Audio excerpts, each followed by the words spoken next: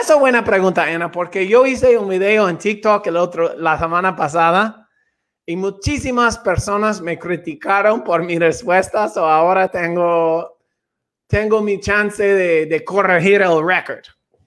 Ok. All right.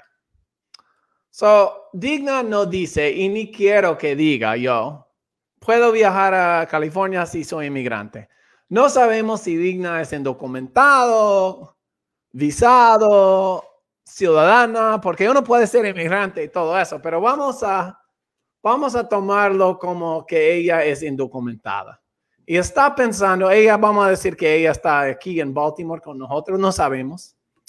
Y vamos a pensar que esta pregunta realmente es la siguiente. Yo soy indocumentado, quiero ir en avión de Baltimore a California, puedo y cómo. Ok, so ahorita en los Estados Unidos, para viajar de un estado al otro estado en avión, uno no necesita tener green card, no necesita tener pasaporte de Estados Unidos. ¿Por qué? Porque no vas a pasar por migración. No vas a pasar migración. Esto, so, ahora, ¿cuál documento puedes usar? Muchos inmigrantes en Maryland tienen una licencia que dice arriba, not for federal purposes. Aeropuertos son federales. Eso es federal purposes. So, esta licencia probablemente no te va a ayudar. Ahora, pasaporte de tu país de origen, sí, funciona muy bien. Riesgos hay.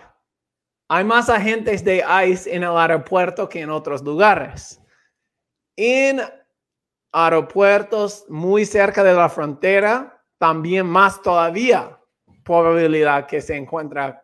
So, mi recomendación sería la siguiente. Si tienes orden de deportación en ausencia, otro orden de deportación, no vale la pena, digo yo. No vale la pena. Digna, vi, veo su respuesta y lo voy a, lo voy a borrar. Lo voy a borrar. Ya está borrado.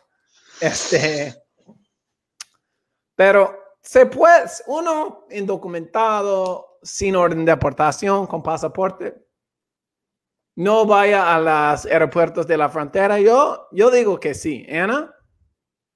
Yo digo que no. Em, eh, eh, yo pienso que riesgo, existe un riesgo eh, grande, ¿no?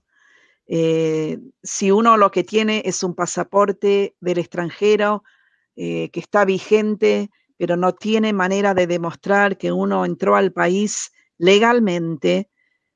You know, si le toca a alguien en, del TSA que mira el documento, eh, puede ser de que antes de que, de que va a poder subir en el avión, de que va a venir algún oficial de ICE para charlar contigo sobre su estatus.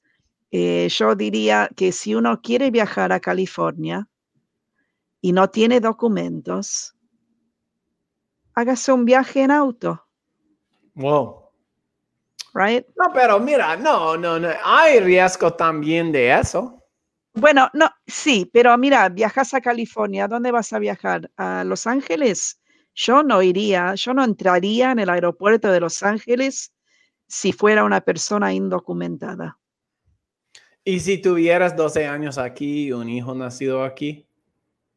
Ahí sí, porque, eh, porque ahí lo que intentaría es de que me agarren, de que me pongan en, el procedimiento de deportación, así yo podría solicitar eh, la defensa de deportación siendo la cancelación de la deportación, ¿no?